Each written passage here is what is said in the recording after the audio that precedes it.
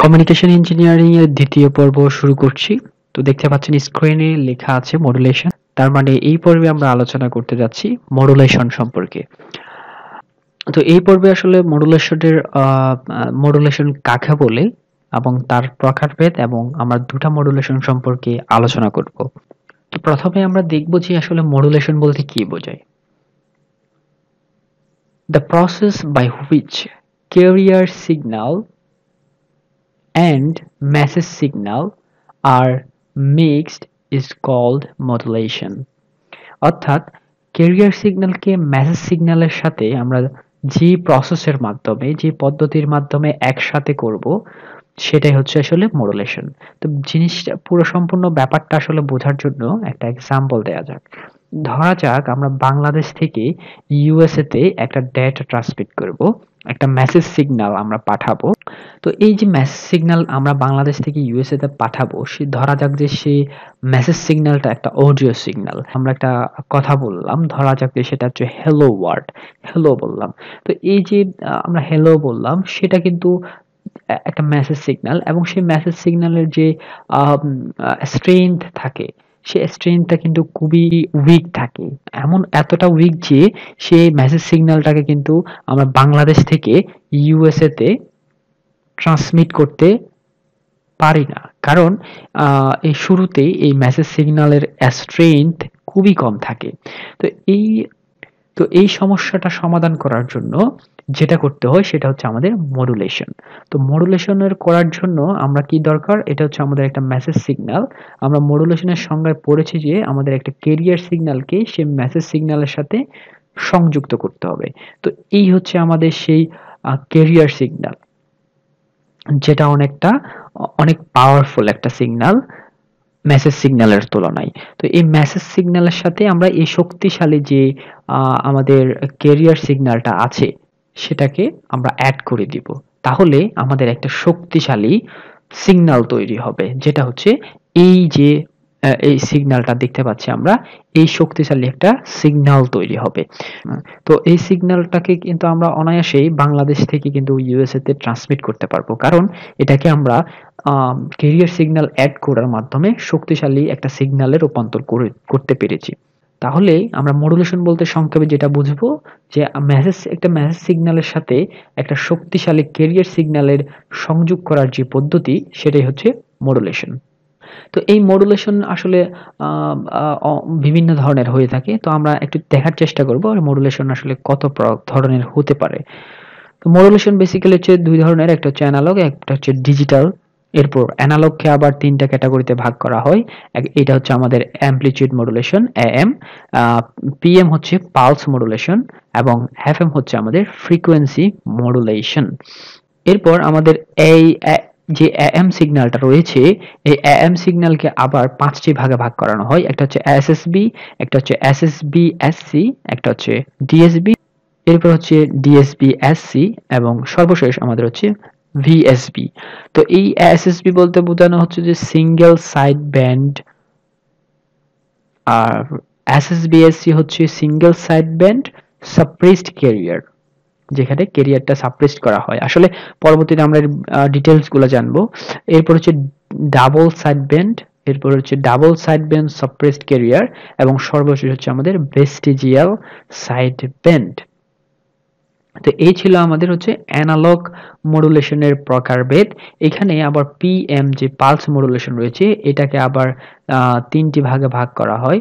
যেখানে হচ্ছে আমাদের পিপিএম আছে পালস পজিশন মডুলেশন এরপর আমাদের রয়েছে হচ্ছে পিএএম যেখানে যেটা হচ্ছে আমাদের পালস অ্যাম্পলিচিউড মডুলেশন এবং আমাদের আরেকটা যে থার্ড নাম্বার মডুলেশন রয়েছে, সেটা হচ্ছে পিডাব্লিউএম বা পালস পালস উইথ মডুলেশন। এটাকে আবার পিডিএম বা পালস ডিভিশন মডুলেশনও বলা হয়। তো এটা ছিল হচ্ছে পিএম এর তিনটা মডুলেশনের প্রকার। এরপর আমরা চলে যাচ্ছি ডিজিটাল মডুলেশনের ক্ষেত্রে। তো ডিজিটাল মডুলেশন আসলে তিন ধরনের। একটা হচ্ছে এএসকে তারপর হচ্ছে পিএসকে এবং সর্বশেষ হচ্ছে এফএসকে।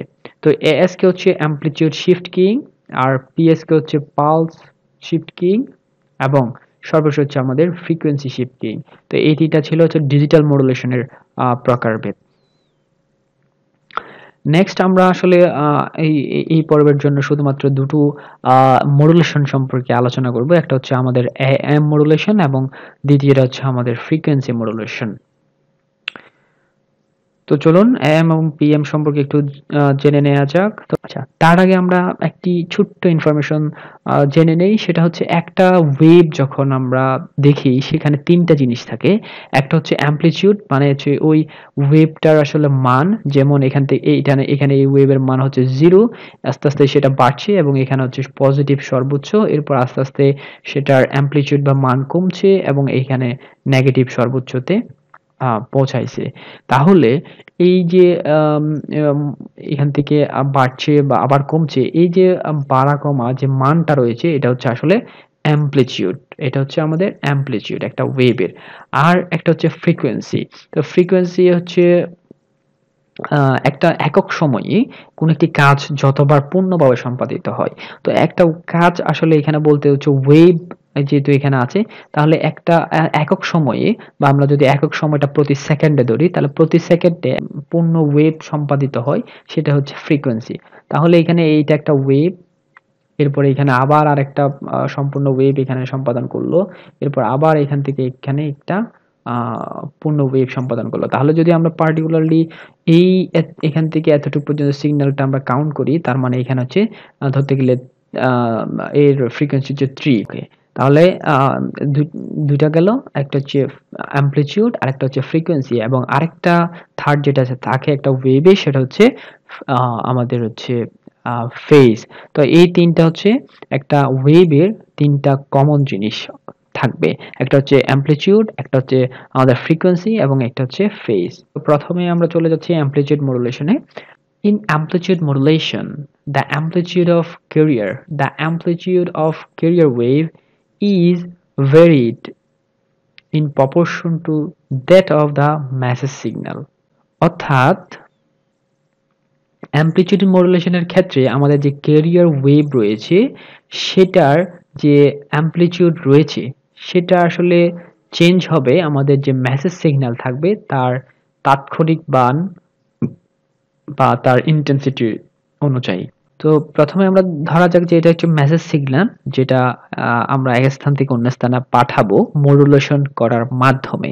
তো আমরা কি মডুলেশন করব? আমরা করব হচ্ছে অ্যাম্পলিটিউড মডুলেশন তাহলে এখানে আমাদের একটা কেরিয়ার ওয়েভ সংযোগ করতে হবে মডুলেশনের জন্য। তাহলে আমরা একটা কেরিয়ার ওয়েভ সংযুক্ত করে দিলাম।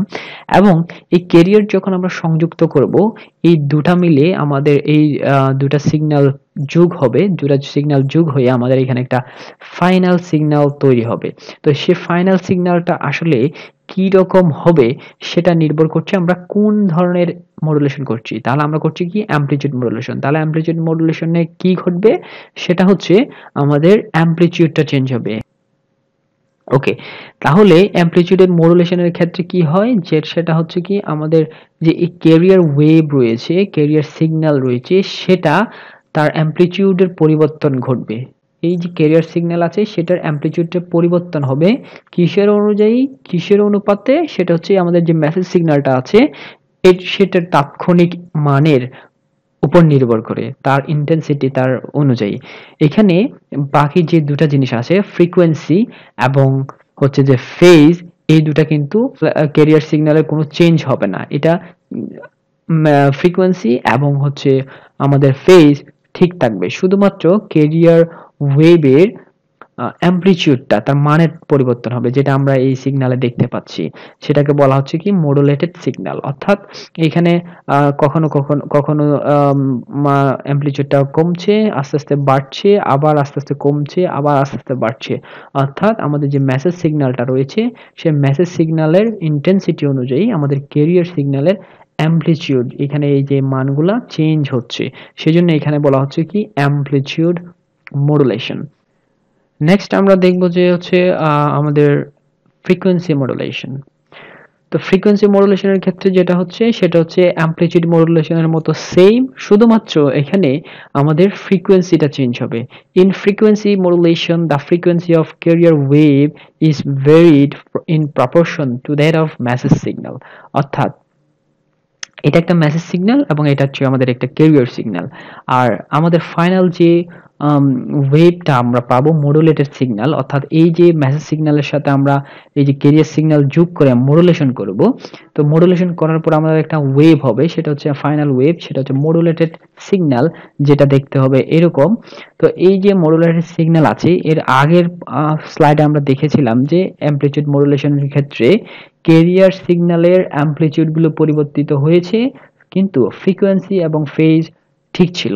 আর ফ্রিকোয়েন্সি মডুলেশনের ক্ষেত্রে আমরা দেখতে পাচ্ছি, এখানে ফ্রিকোয়েন্সিগুলো চেঞ্জ হয়েছে, কিন্তু এখানে যে অ্যামপ্লিটিউড রয়েছে, এখানে যে অ্যামপ্লিটিউড রয়েছে, সেটা চেঞ্জ হয়নি এবং ফেজ চেঞ্জ হয়নি। অর্থাৎ এখানে এখানে আমরা মডুলেটেড সিগন্যালের ক্ষেত্রে দেখতে পাচ্ছি, এখানে ফ্রিকোয়েন্সি কম, আবার এইখানে ফ্রিকোয়েন্সি বেশি, আবার এখানে ফ্রিকোয়েন্সি কম, আবার এখানে ফ্রিকোয়েন্সি বেশি। তাহলে মডুলেটেড তাহলে ফ্রিকোয়েন্সি মডুলেশনের ক্ষেত্রে ফেজ এবং অ্যামপ্লিটিউড একই থাকবে শুধুমাত্র এখানে আমাদের মেসেজ সিগন্যালের ইন্টেন্সিটি অনুযায়ী আমাদের কেরিয়ার যে সিগন্যালটা থাকবে, সেটার ফ্রিকোয়েন্সিটা চেঞ্জ হবে। এই জন্য একে বলা হচ্ছে ফ্রিকোয়েন্সি মডুলেশন তো এই ছিল আমাদের দুটো মডুলেশন নিয়ে আলোচনা। একটা হচ্ছে অ্যামপ্লিটিউড মডুলেশন একটা হচ্ছে অ্যামপ্লিটিউড মডুলেশন যেখানে মেসেজ সিগন্যালের সাথে কেরিয়ার সিগন্যাল যোগ করব।